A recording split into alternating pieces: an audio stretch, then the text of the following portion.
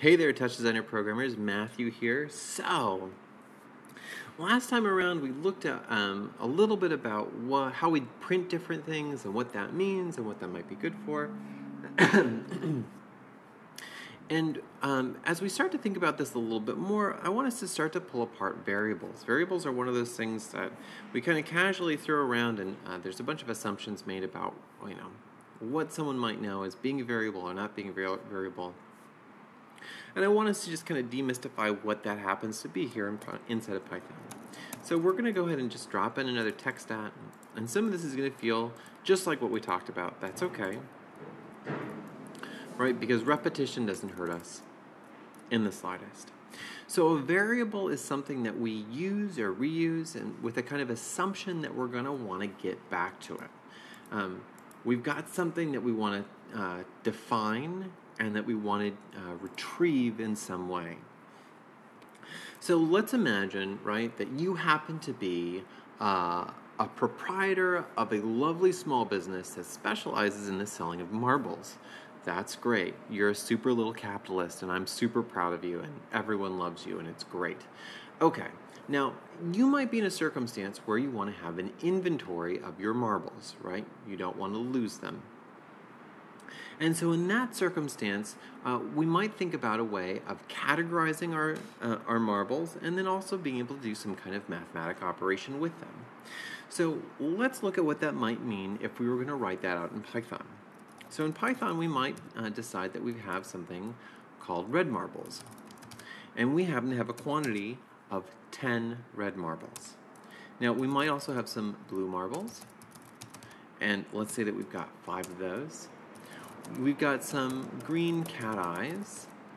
That's a kind of marble. That's not actual real cat eyes. We've got six of those. And then we've got some blue cat eyes. And let's say that we've got 12 of those. Great.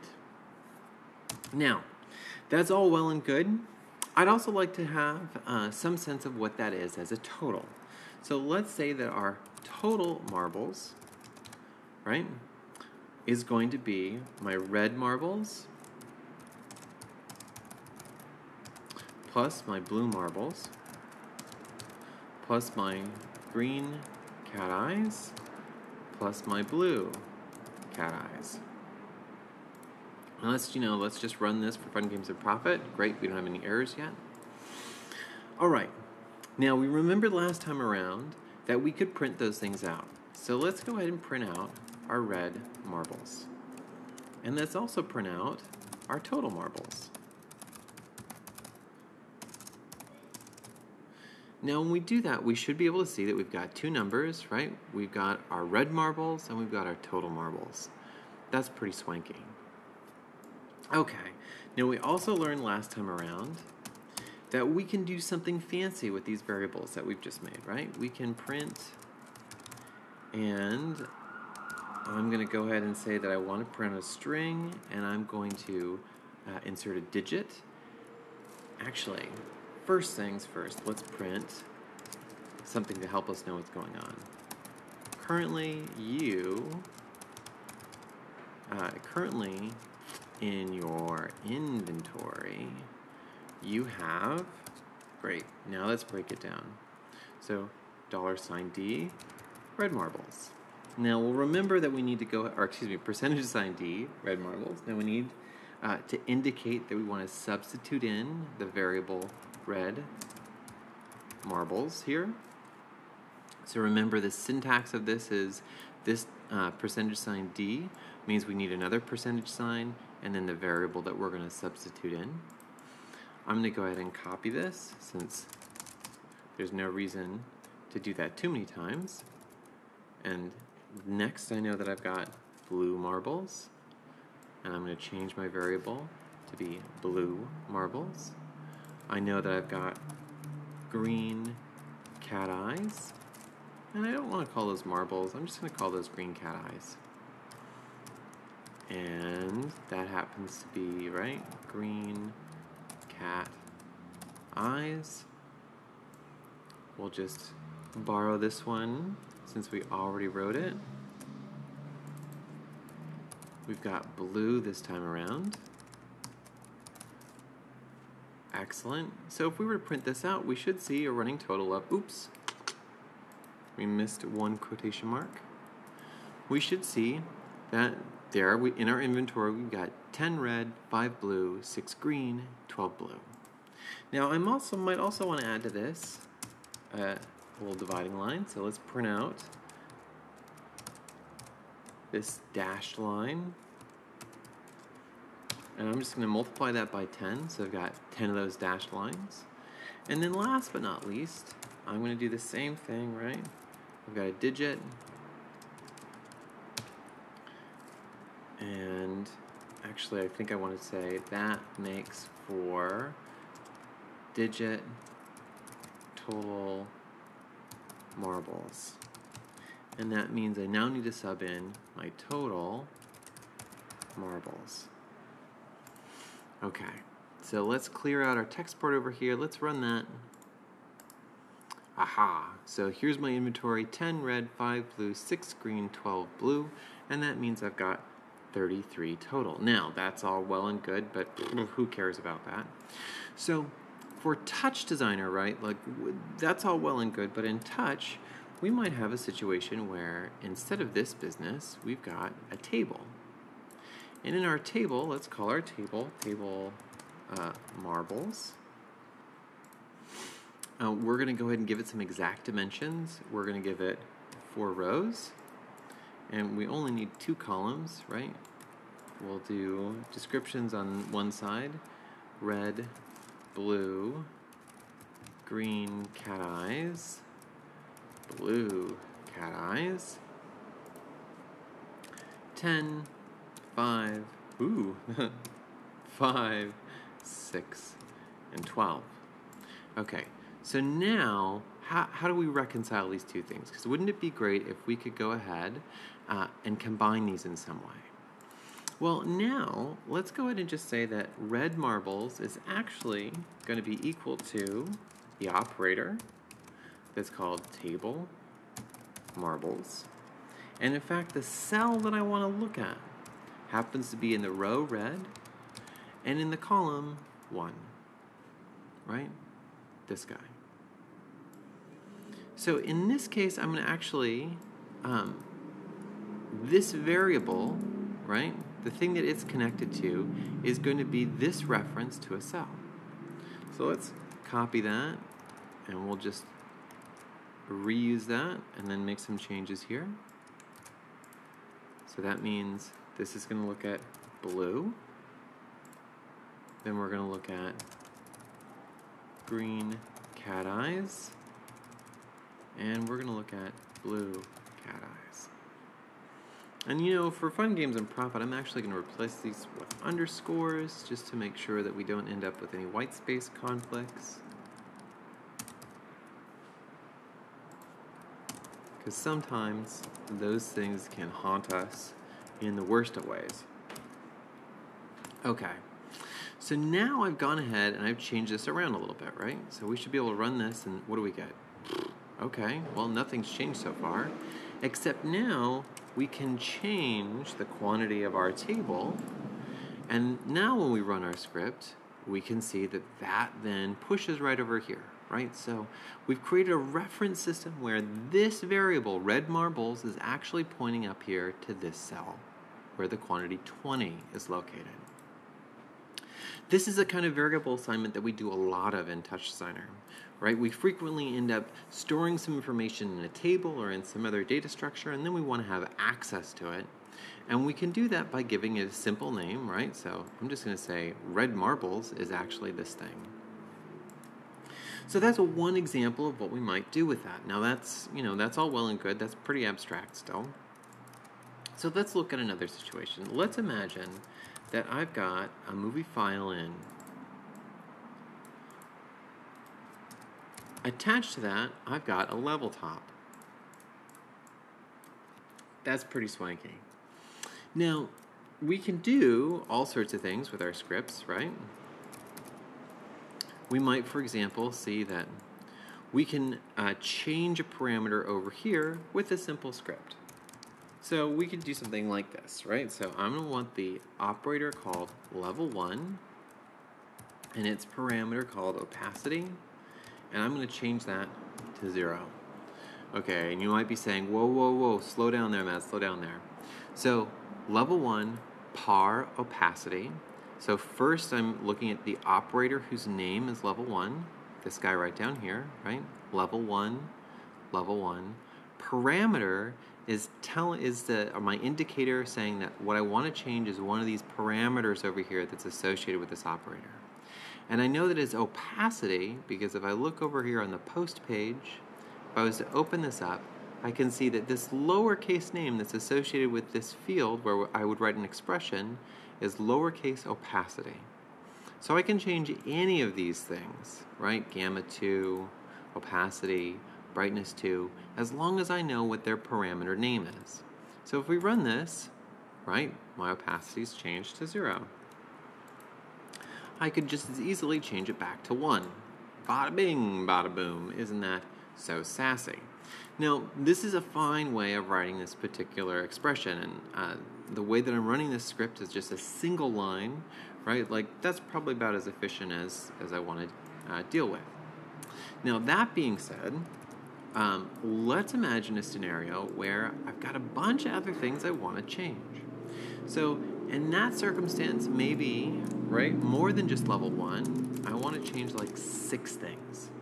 So, I want to change opacity, or actually let's we're just going to put a bunch of different things in here so I want to change the invert and I want to change the invert to not 0.31 I also want to change the black level to uh, not 0.27 I want to change the brightness one to let's say uh, 1.45 I want to change gamma 1 to, oops, whoa, rowdy over here, 0.5. I want to change my contrast uh, to 1.76, and I'm going to change my opacity to not 0.782. Uh, I already made up those numbers, that's why I picked them so fast. so let's run that. Great. Oh, and it looks like I misspelled something. contrast. Let's try that one more time. Ah, there we go. So that's lovely. Now, if I was going to do that a whole lot, there's a lot of opportunity for me to introduce some error, right, in what I'm doing.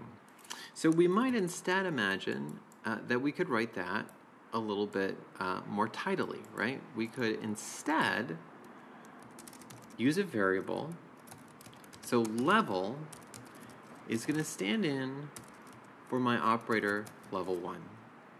Okay, now I'm just going to go ahead and for one second I'm going to comment out all of these things down here so we can see what that means.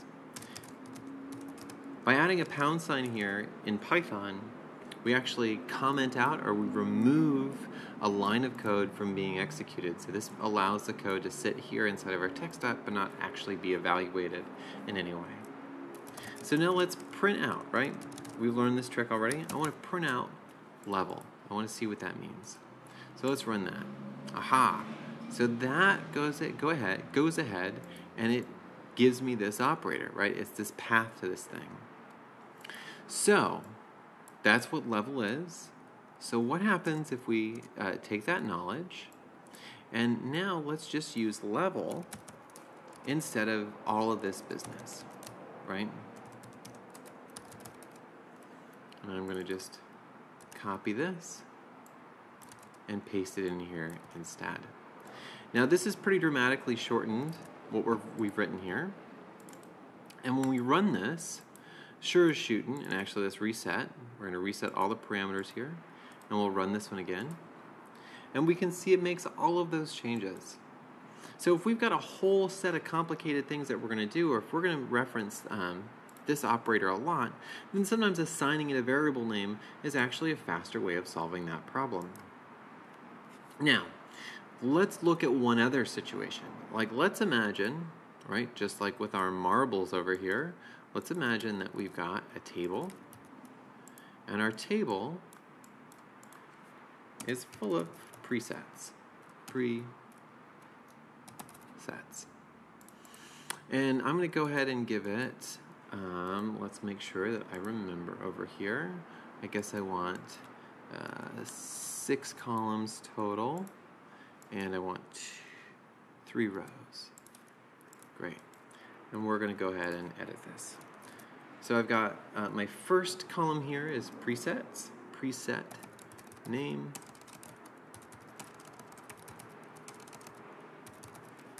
And then I've got invert, black level,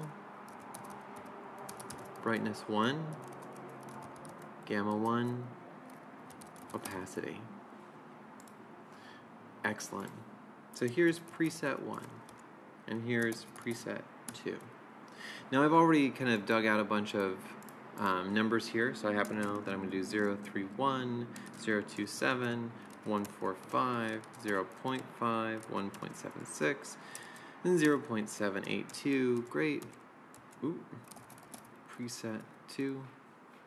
I must have missed one there. Oh, I did. Uh, let's insert add after. Gamma 1 contrast. Who I'm forgetting. And opacity. And opacity should be not points. 72. Great. And that means that here for preset 2 is 0, 0, uh, 0, 0, 1.0, 1.0, 1.0, 1.0. Okay, lovely. So let's imagine that I want to actually use my presets here, and I want to use this very fancy thing that we've learned in terms of how we might use variables. So uh, let's go ahead, let's grab this thing, right? We'll copy paste that down here. And now we're going to add in a little bit more. And this time around I'm going to add some comments so I know what's going on. So I'm first I'm going to define my variables. So level one is this thing. Uh, let's uh, go ahead and let's say that presets is going to be this thing, right? Our table presets. And I'm going to add something called row ref. And you're going to say, well, what does that mean, Matt? Well, I'm going to just go ahead and put in preset 1 here right now as my row ref. And we'll see why here in one hot second. So first I'm going to define my variables, then I'm going to go ahead and change some parameters. And this time around, instead of just hard coding, right? And we use that term hard coding to mean that I'm just sticking in a number right here and that's that. And if I want to change it, I've got to come back and change this actual code. This time, I'm going to put in something a little bit different, right? So this time around, I'm going to say presets, right? And presets, we'll remember, refers to this table over here. And we know that row and uh, that our DAT referencing happens by row and column. So I'm going to sub in row ref.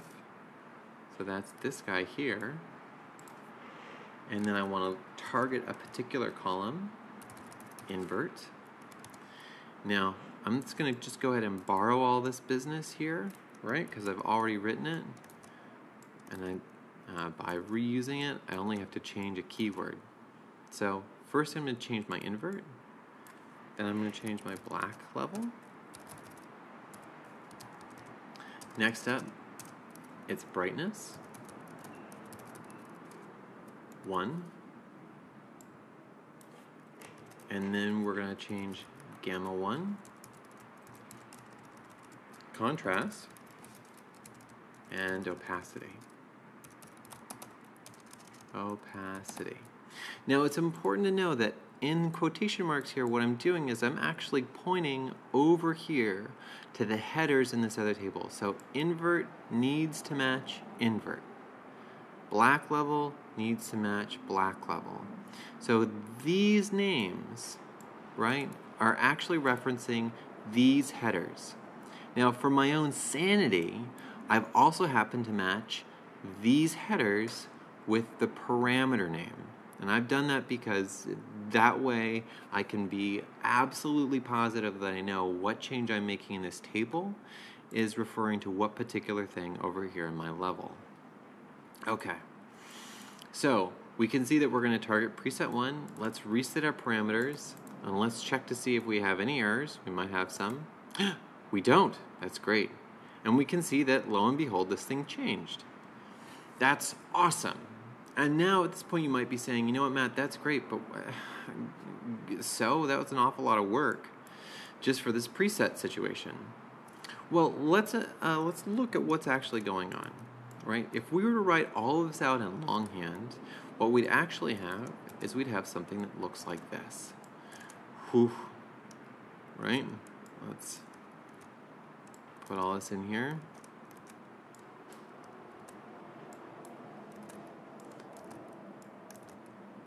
And then table presets, subs in for presets.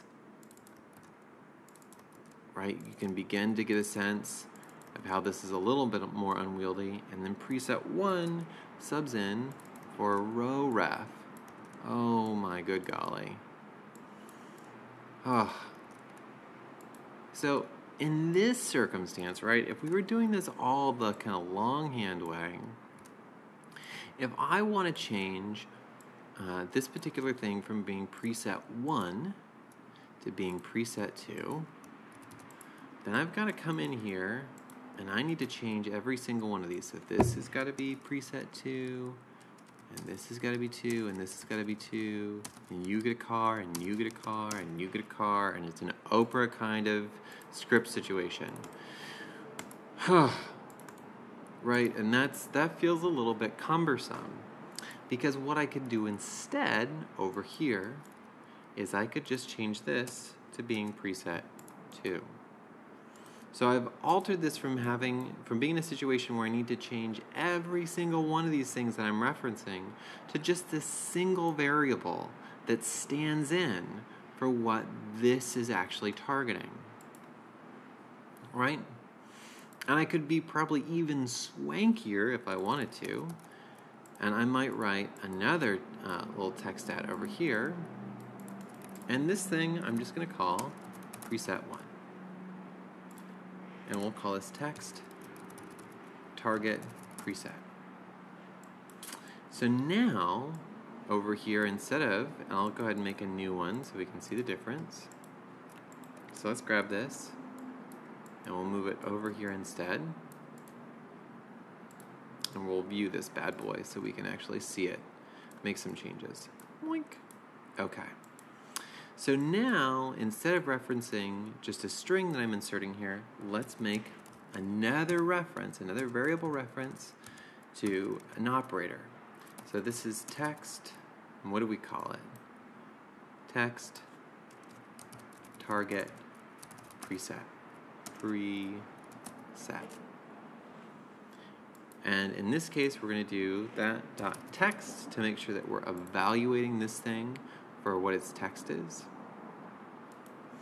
So now we run this.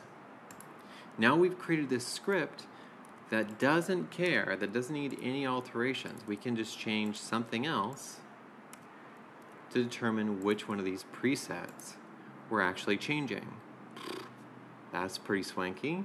Okay. Well, you might say, you know what, Matt? Really, what I want is I want a situation like this. I want to have a constant. And I want to change this number to be either 1 or 2, and I want to use this number. Okay, fine. We can do that. Right? Let's change this. So now, instead of this, let's say that our row ref is actually going to be our operator And I bet that's called a constant one. Let's double check. Constant one. And out of constant one, we've got chan one. Okay. Now, before we get too carried away, let's do this. We're going to grab an eval dat. And the evaluate dat is one of my go-to dats for trying to figure out what I'm dealing with sometimes. So I'm going to take this thing right here and let's just copy that and let's evaluate it real fast to see what it is. Okay, two. Bada bing, bada boom. That's pretty good so far. So we're going to go ahead and see that we've got this thing, right? Lovely. And let's imagine, right, that what we want to do is we want preset, right? We've remembered that we could do this when we were printing. Now we're going to have a problem, right? Because we can't convert that integer. Oh, we can't convert a float. Aha, so we've learned something really important. This is being evaluated as a float. So we need to first make it an integer. Well, you know what, before we do that, let's, let's, I'm uh, jumping the gun here. So let's first just make it a string, right? We've learned that we can explicitly say, hey, guess what, that thing's a string. Oh, lovely. You know what, that actually, uh, that might work just fine. We might, uh, in some situations, uh, sometimes this thing, this float, would actually uh, return something like 2.0, and then we'd actually need to explicitly say, hey, this thing over here is an integer, and by the way, I want it to be a string. It looks like that's not the case, so let's uh, run with it for right now. Okay, so we've written this little expression right here. Let's go ahead and copy this out. Copy. And that's what we're going to put in here for row ref now. Paste.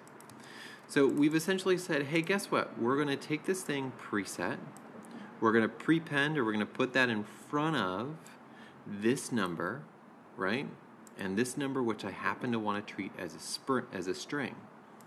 And we can see that lo and behold, how it gets evaluated looks remarkably similar to when we were just writing it ourselves